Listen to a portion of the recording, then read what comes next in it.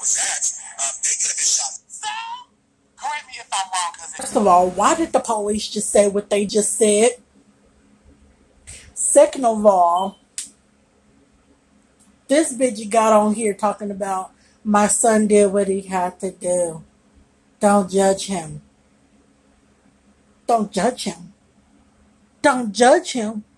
He just took innocent children's lives and a couple of teachers.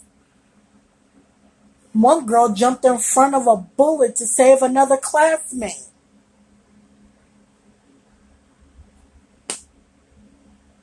Now that's some heroic shit. But anyway, motherfucker, what? Take a real good look at this.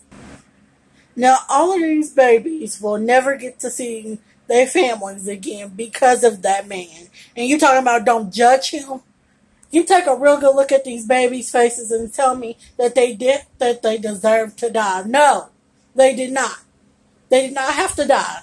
If he was getting bullied, hold on. Oh, I want to know why didn't he said he was getting bullied, right? So why didn't he know how to fight?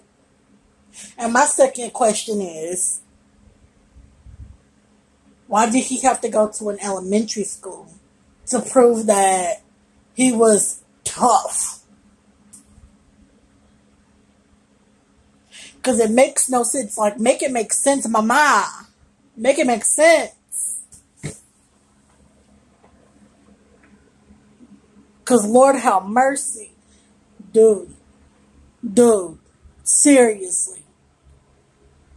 If you were getting bullied, then you go out and you find that motherfucker and you fight that bitch.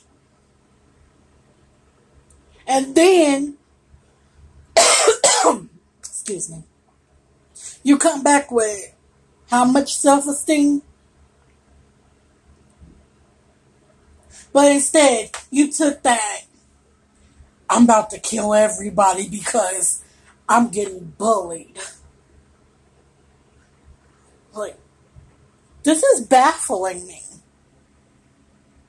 This is I don't I don't get it. Make it make sense, bitch. Make it make sense. And then you will Oh Lord. Make it make sense.